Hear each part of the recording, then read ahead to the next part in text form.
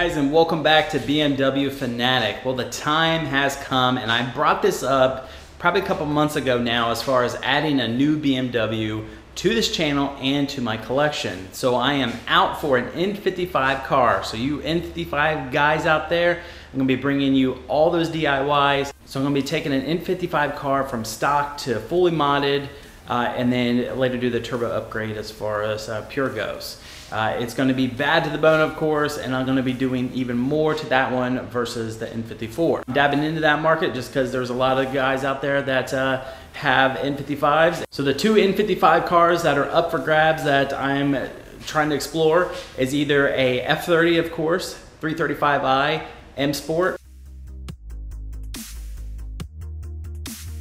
or a F10 535i M Sport.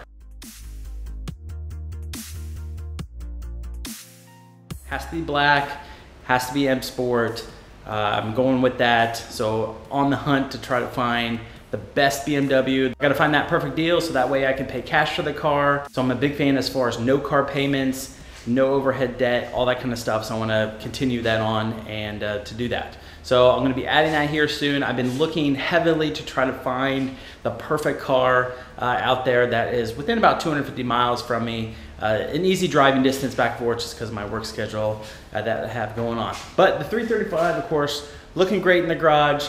A lot more to do, of course, in this garage that I have here. Trying to get all the painting done, organizing cabinets, all that. That's going to be back here. Uh, that's going to go in the back. It does have 11 foot ceilings, so I'm going to be doing a lift in here so that way I can have for the space and, of course, the mini DIYs. Those are the two cars on the up for grabs I'm going to be looking at and trying to find, of course. So I know there's a lot of F30 guys out there and, of course, F10s. So I'm looking forward to adding the new addition on and getting the rest of this garage done so that way I can get in prep with that.